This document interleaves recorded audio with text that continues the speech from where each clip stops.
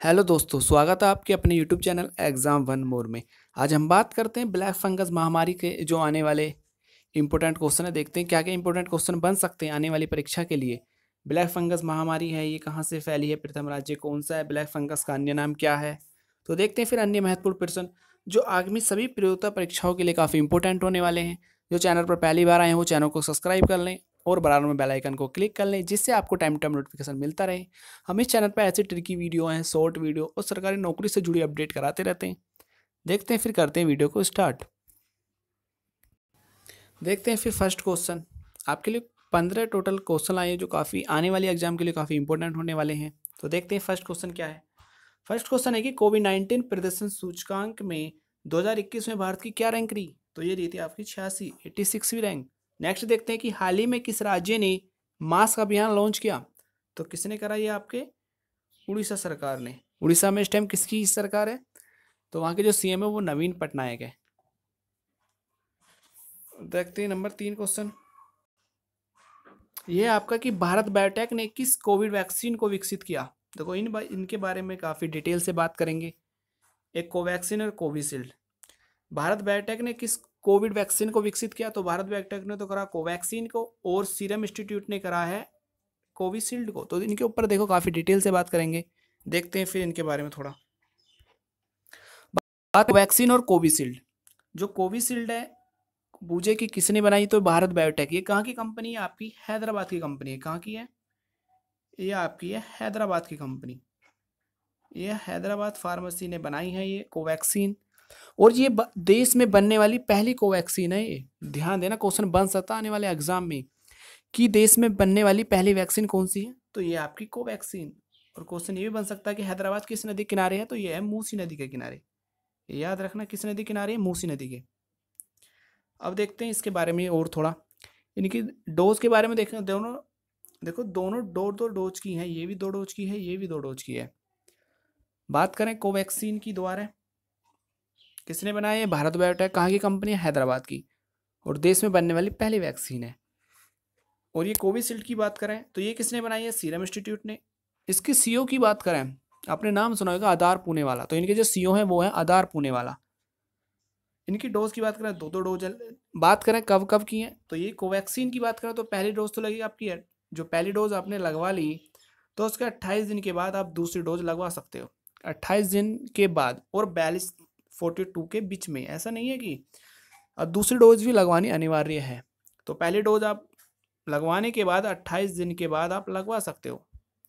और इसकी बात करें कोविशील्ड की तो कोविशील्ड की जो पहली डोज है, पहली डोज के बाद आप बयालीसवें दिन के बाद, मैं दोबारा लिख दे रहा हूँ, ये तो लगवानी पड़ेगी आपकी दूसरी डोज, अट्ठाईस दिन के बाद आप लगवा सकते हो। और कोविशील्ड की है आपको बयालीस दिन के बाद आपको दूसरी डोज लेनी पड़ेगी। दोनों सेफ़ हैं, लेकिन ज़्यादा कारगर कोवैक्सीन है लगभग नाइन्टी परसेंट कारगर है, ये लगभग है एट्टी परसेंट इसे मान लो, दोनों कारगर है, वैसे दोनों सेफ़ है। लेकिन ये ध्यान देना, ये जो कोवैक्सीन है, ये आपकी निष्क्रिय है और ये आपकी है सक्रिय है।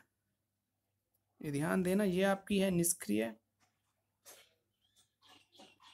और ये आपकी है सक्रिय। मतलब एक्टिवेट और डीएक्टिवेट याद रखना। आगे देखते हैं। हाल ही में किस देश ने अपने यहाँ सबसे बड़ा कोविड वैक्सीन केंद्र स्थापित करा न्यूजीलैंड ने। और हाल ही में कितने राज्यों ने ब्लैक फंगस को नोटिफिबियल नोटिफिबियल डिज़ीज़ घोषित किया? तो कितने राज्यों ने? दस राज्यों ने।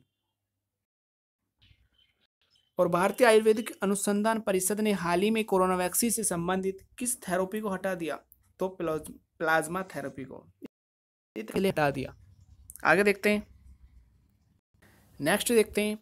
नेक्स्ट है कि म्यूकोरोमाइकोसिस एक रोग है जिसे कह, जो मतलब किससे फैलता है? ये फैलता है आपका वायरस और बैक्टीरिया से। नेक्स्ट देखते हैं। भारतीय आयुर्वेद अनुसंधान परिषद के डायरेक्टर जनरल कौन है?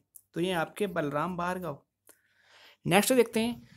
कोई भी राज्य ब्लैक फंगस महामारी को किस एक्ट के द्वारा महामारी घोषित कर सकता है? तो याद रखना ये कौन सा एक्ट है? महामारी रोग 1897 तो याद रखना ये कौन सा एक्ट है? ये आपका 1897 आगे देखते हैं। बात करें ब्लैक फंगस से बचाव के लिए किस दवा का उपयोग किया जा रहा है? तो ये किया जा रहा है आपका एन एनफेंटोरिसिस।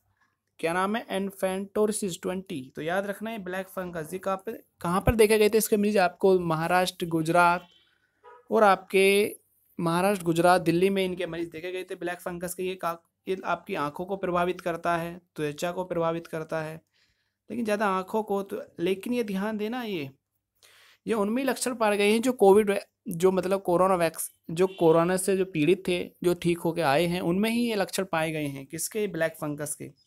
ये दिल्ली में मरीज़ पाए गए हैं, इसके महाराष्ट्र और गुजरात में तीन राज्यों में पाए गए हैं। सफ़ेद फंगस की बात करें, अब तो येलो फंगस भी आ गया है black fungus white fungus yellow fungus fungus ही फंगस हो रहा है। देखो वाइट फंगस की बात करें तो इसकी जो कवक का कारण है, इसका है कैंडिडा क्या नाम है? कैंडिडा आगे देखते हैं। बात करें कि ब्लैक फंगस सबसे ज़्यादा किस राज्य में मिले तो सबसे ज़्यादा मिले आपके महाराष्ट्र में, मैंने बताया था। कहाँ वैसे मरीज़ दिल्ली में भी देखने को मिले हैं और आपके गुजरात में सबसे ज़्यादा पर महाराष्ट्र में मिले हैं। और ब्लैक फंगस से शरीर के कौन से अंग सर्वाधिक प्रभावित होते हैं? मैंने आपको बताया था, आँख है, त्वचा है, दिमाग है, फेफड़ा। ज़्यादा आँख को प्रभावित करा, पचास परसेंट केस पाए गए ऐसा नहीं है कि सब में ही पाए गए जो कोरोना से पीड़ित थे, जो पचास परसेंट केस हैं, लेकिन अब काफ़ी सुधार है। और लास्ट है, ब्लैक फंगस किस कवक को कारण फैलता है? तो ये फैलता है आपका म्यूरकर। किससे फैलता है? म्यूरकर। तो याद रखना ये आगे देखते हैं। भाई, इतने ही क्वेश्चन थे। यदि क्वेश्चन ये बने कि ब्लैक फंगस को अन्य नाम से जाना जाता है क्वेश्चन ये बन सकता है ब्लैक फंगस को अन्य नाम से जाना जाता है तो याद रखना मिक्रोमाइकोसिस क्या है मिक्रोमाइकोसिस उम्मीद आपको वीडियो पसंद आई तो वीडियो को लाइक शेयर और चैनल को सब्सक्राइब करना ना भूलें। जय हिंद दोस्तों।